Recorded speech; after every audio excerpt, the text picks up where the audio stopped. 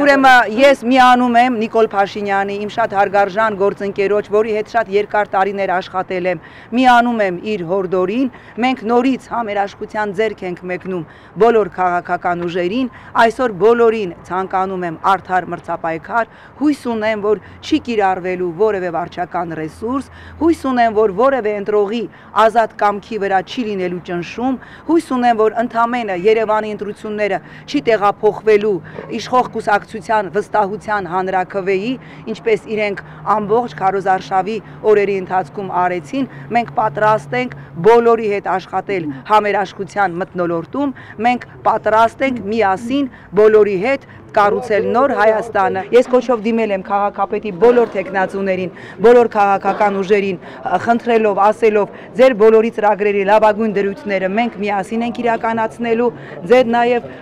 կարող ուժերով, որովհետև մեր խնդիրը չէ Երևանի ավականին քաղաքականացնելը։ Սա չի լինելու քաղաքական ուժի կառավարում, սա լինելու է պրոֆեսիոնալ մարդկանց Երևանի խնդրի խնդիրները հասկացող նվիրյալների կառավարում։ Ես քվեարկել եմ եմ 21-րդ դարի բարեկարգ, հարմարավետ, կայուն խաղաղ եւ ամենակարևորը անվտանգ Երևանի օգտին։ Չեմ բացառում, որ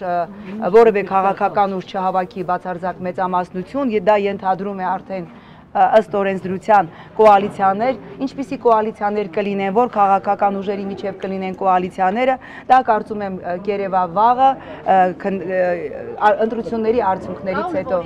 Անկեղծ ասած, ես նորից եմ ասում, մեր երկրում մենք թշնամի քաղաքական ուժեր չունենք, մեր երկրում մենք հակառակորդներ չունենք, բոլորի հետ պատրաստ ենք հաշտ, համերաշխ, սիրո եւ հանդուրժողականության մտնոլորտում աշխատել, որովհետեւ այստեղ չպիտի լինի կուսակցական շահ, այստեղ չպիտի լինի քաղաքական շահ։ Մեր երկիրը կանգնած է լրջագույն խնդիրների, լրջագույն մարտահրավերների առջև։ Մենք արել ենք այդ ֆանտաստիկ հեղափոխությունը, բայց հիմա պետությունը գտնվում է չեզոք գոտու մստեյության։ Պետությունը գտնվում է քանդված հնի եւ այդպես էլ չստեղծված նորի միջև։ Այո,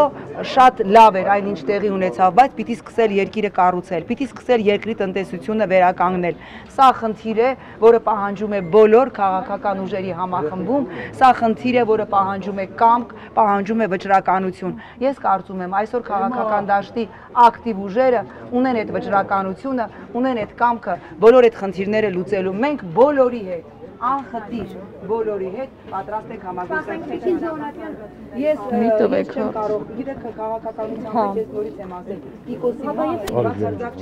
ոչ նախընտրելի ժանր է։ Ես հույս ունեմ եւ որ ընտրությունները կլինեն արդար։ Ես հույս ունեմ, որ ընտրությունները կանցնեն խաղաղ։ Մեր ուրեմն